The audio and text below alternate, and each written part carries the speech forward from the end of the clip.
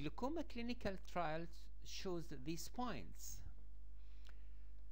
IOP reduction is important in the management of all types of glaucoma, including normal tension glaucoma, and also in some cases of ocular hypertension. The second point, we should avoid fluctuation of the intraocular pressure,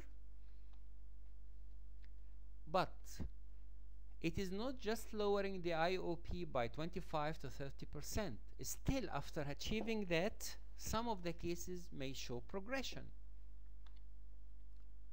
The second point is the risk factors.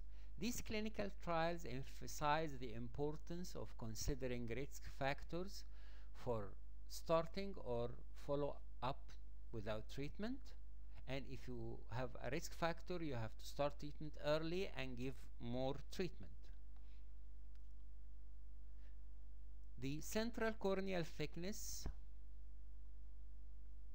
if you have a case with thin cornea then the chance of appearance of glaucoma is higher. Should we follow the disc or field changes in the early stages in the ocular hypertension treatment study, disc changes were more common to diagnose glaucoma to appear early. While in established cases like uh, what is shown in the early manifest glaucoma treatment, field changes is more important to detect progression.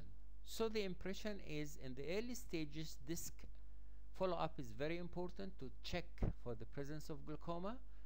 But once we have glaucoma, field changes is more sensitive to pick up the changes.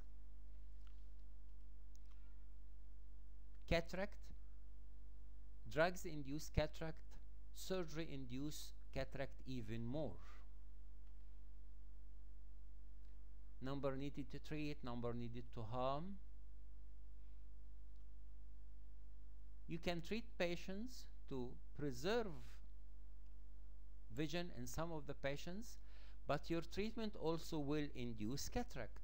So this means that you should keep your treatment for high risk patients and you should consider these possibilities, the development of cataract in your planning of treating your patient. So applying this information to patient care could help better caring for our patients.